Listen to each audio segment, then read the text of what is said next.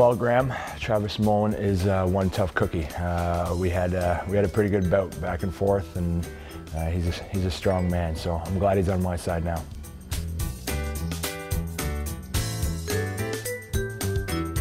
Hey James, um, the Winter Classic was amazing, um, great experience. I had a blast, um, and uh, this upcoming season uh, I'm looking forward to, and you know we just want to want to be successful in here, and, and personally, uh, you know I want to contribute uh, with some offense and and uh, continue with my physical play.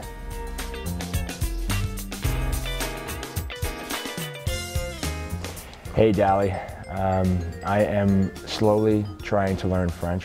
I'm not very good, but um, I have, uh, I have um, some people that are giving me some lessons, so it's going to be a slow process, but I am definitely uh, working on it.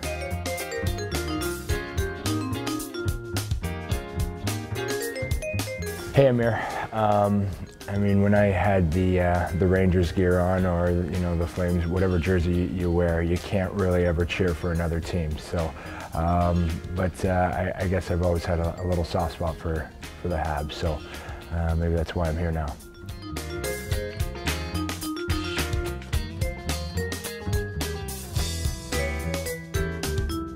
Hey Eric, uh, the Bell Center is uh, definitely the probably the best building um, in the league to play.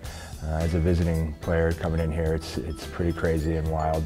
Um, to be uh, coming out here wearing the Montreal Canadiens jersey uh, is going to be something that uh, I mean it's it's going to be spectacular. So I'm looking forward to it, and uh, I can't wait to uh, hear those roaring fans.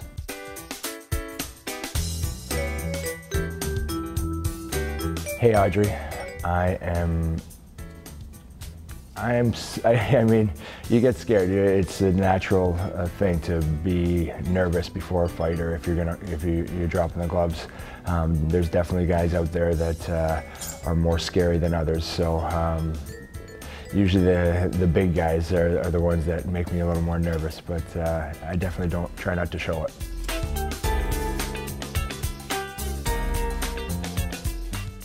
Hey Nicholas, um, yes, I tried to grow a super beard for playoffs. Um, I'll trim it right down before the playoffs, but uh, I do have the, the thin beard look for most of the season, but um, come playoff time, uh, hopefully this season you'll, you'll see a nice big thick one.